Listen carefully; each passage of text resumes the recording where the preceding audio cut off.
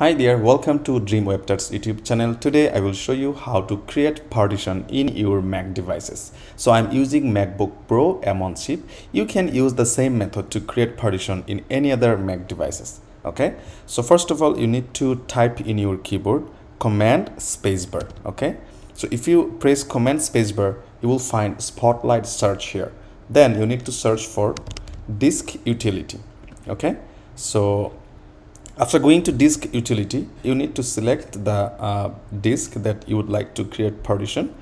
Then you need to uh, select partition. Okay, so currently I do not have any other partition. I have only one default partition right now. So select partition and you can now add any other partition that you want.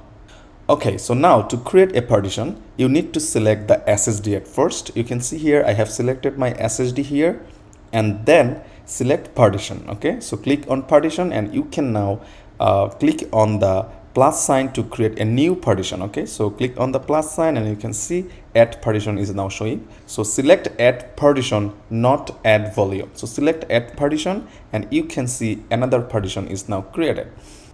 You can use the pointer to adjust the size. So i will use the default system dr drive is 100 GB okay? And the next one is 145 GB because I have only 250 GB around uh, my total SSD okay? 250 GB is my total size.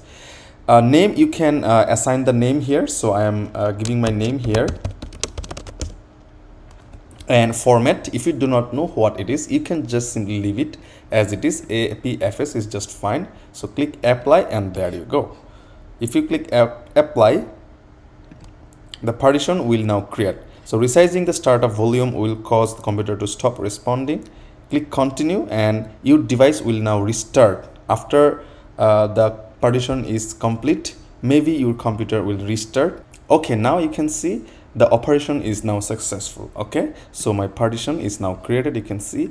Another partition is now created with my name this is how you can create partition. So to access the partition you can uh, uh, click on go and then select my computer and you will now see your partitions okay? I hope you guys enjoyed this video. Don't forget to subscribe our youtube channel dream web to get more tutorial like this and thumbs up this video. And comment below if you have any questions. I will see you in another video. Bye